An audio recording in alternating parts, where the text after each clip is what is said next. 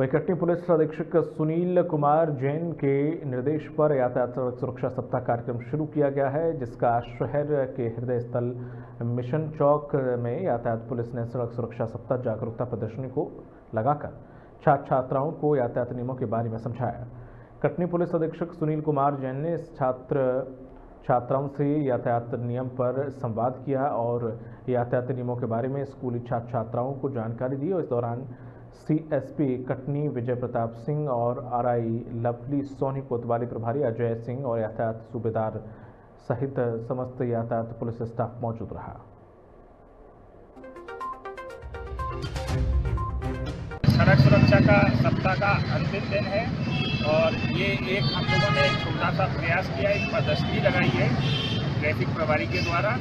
और ये बच्चों को समझाने का प्रयास किया गया है कि बच्चे लोग जो है मैंने देखा है यहाँ पर